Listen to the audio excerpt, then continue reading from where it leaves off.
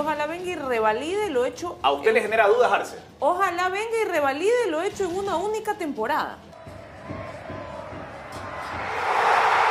Ojalá me tape la boca.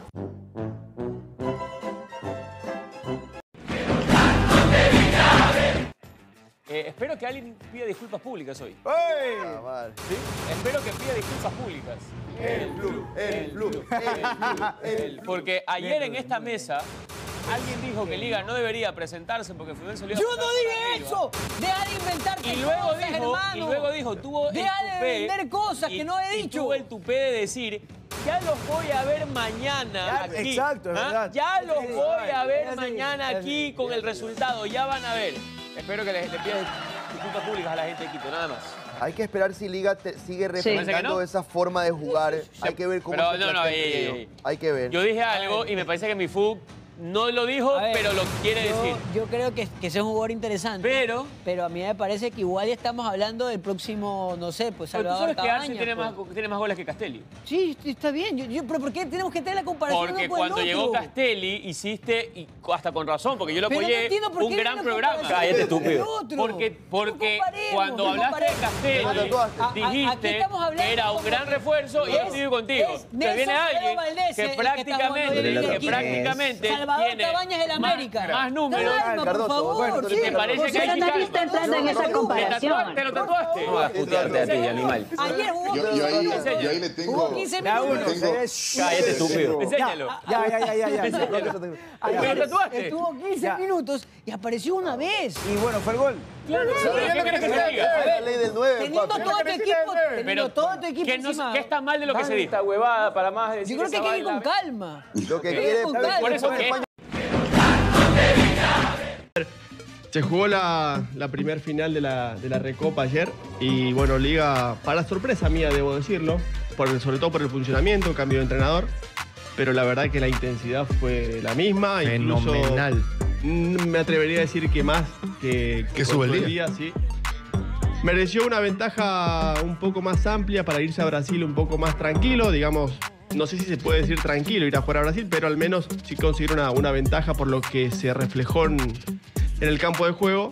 Lamentablemente no, no pudo tener esa eficacia en el, en el área brasileña, pero bueno, ganó, que es lo más importante. Puntos altos en Piovi, AD. AD que debe ser uno de los mejores centrales no solamente de la Liga Pro, sino de Sudamérica. Eh, Zambrano. Y González y Zambrano. sí, Los dos chicos, la verdad que tiene... Ahí Liga de Quito tiene dos perlas. ¿eh? Sí. Dos perlas Liga de Quito. Eh, González, sobre todo, juega como si. A mí la- me llama mucho la atención los jugadores que juegan este, este tipo de partidos, estas finales, como si estuvieran en el patio de su casa. Me llama mucho la atención con la personalidad que encaran estos partidos, así que. Gran futuro para Sebastián González, para Zambrano, para Zambrano también, así que bueno, Y, y- y después, Liga Deportiva Universitaria de Quito saca un buen resultado, complicado en el partido. Para mí fue mu- mucho más que, que- que Fluminense, pero el resultado fue muy apretado y, y cuestionado también por parte de los, de los brasileños. Especialmente este muchacho, ¿cómo se llama? Luis. Melo. Melo, Felipe Melo, que salió, pero Capitán. eh, enojado, votó la rueda de prensa, que le han robado el partido. Resulta que a él, él habla de que le robaron el partido, pero él no habla de la mano que metió que era penal. Entonces hay, hay tantas cosas. Pero bueno, y como es una radio a nivel nacional, hay que escuchar también en un momento determinado y ponderar lo que sucede con otros equipos de fútbol. Bueno, me ratifico en eso, querido Flaquito. Me ratifico en que para eso está la radio Redonda Quito, que cierran y engloban también equipos de la, de la capital de, de todos los ecuatorianos. Porque acá es Barcelona y Emelec, y si no hay Barcelona y Emelec, eh, no hay nada. No, pero dale un espacio de, de respeto a Liga de Quito de 10 minutos, pues. Yo no te estoy diciendo que hables de Liga de Quito, ni te estoy diciendo que hables de Nacional. Dale un espacio de respeto a, un, eh, por lo menos 10 minutos. Esta es una radio nacional, no es una radio de caserío. No es una radio de pueblo para decir solamente nos circunscribimos hablar solamente de esto. Aquí, por eso vuelvo y repito, aquí mayoritariamente se habla de Barcelona y está muy bien, porque se tiene que hablar de Barcelona, que es el que rompe lo que tiene que ver con la audiencia y con la popularidad. Pero llega un momento determinado que sí debe de haber un espacio para Emelec, que sí debe de haber un espacio para otros equipos también, un espacio. No estoy hablando de todo el programa. casi no pude ver tu huevada de partido. Después, pero alcancé a ver los últimos minutos. Y yo no sé con qué descaro me puedes escribir cuando te regalaron el partido con un gol en flagrante posición adelantada, un offside clarísimo. Por Dios santo, y todavía esa huevada celebras, por Dios. Y como siempre aprovechando la ventaja de la altura, ya cogiendo muerto y desgastado al rival. Esos pobres fluminenses no sabían cómo rodaba la pelota, que en la altura rueda más rápido, no sabían controlarla, no podían patearla, se les iba, porque claro, en la altura es jodido. Y sumémosle a eso que los brasileños son más sopas para jugar en la altura.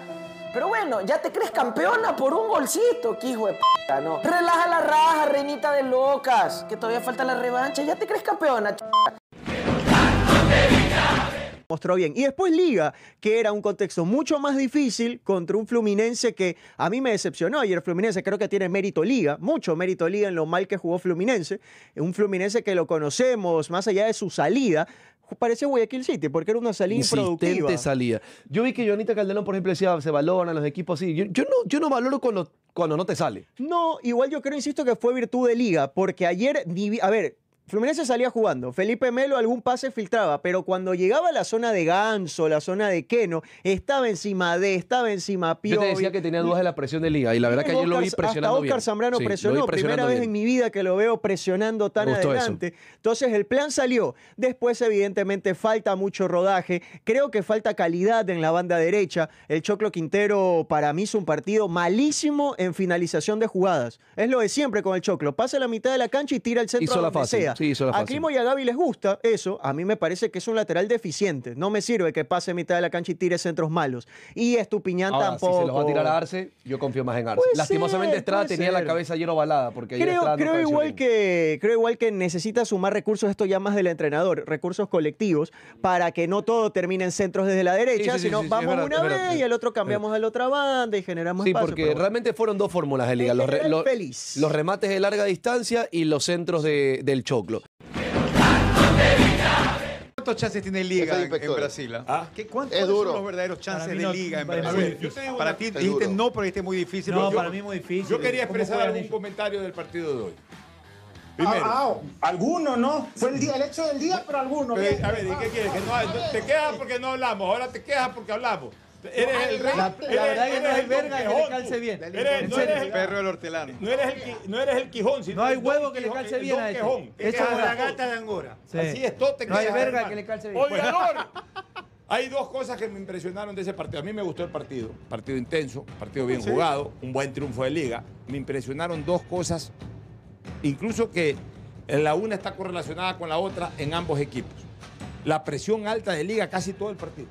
Liga jugaba arriba, marcaba arriba, presionaba arriba. Ahogó de entrada. No es- y de entrada, intermedio y salida. No es fácil presionar todo el tiempo. Y, Tiene y- más y Liga- el que sale con la pelota, que ya, se y- y equivoca lo y, otro- sale. Y Y lo otro, siempre saliendo desde la, abajo. la- la audacia. Salía la- jugando siempre sí, de abajo. A mí me impresionó Fluminense, eso también. Fluminense es un equipo con, con- con- con toque en espacio corto muy preciso. Siempre. Y además hasta desafiante, porque, porque incluso cuando había el saque de gol, sacaban tocando la pelota dentro del área ahora con la nueva reglamentación, Pocho- a pesar de la presión del rival. Ocho años. Pero cuando hablas de esa casta, esa jerarquía que tanto se menciona, muchas veces dice, es que esa casta y esa jerarquía la tenían ciertos jugadores. Pero aquí es cuando te das cuenta que es el club. El club, y el momento sí. que sales a jugar en ese estadio. títulos, los y títulos, todo eso ahí, todo eso ahí, todo eso Esteban. títulos. Pero eso lo absorbe y, y- lo asumen jugadores que a las finales Ya, pero- no tienen por qué Liga tener tiene- esa casta y no haberla Liga tenido. Pero por eso, pero es cuando llegan al club, Mira, lo- que es algo que sí, hay quienes lo leen bien Mira, y después lo, ven en cancha. una cosa.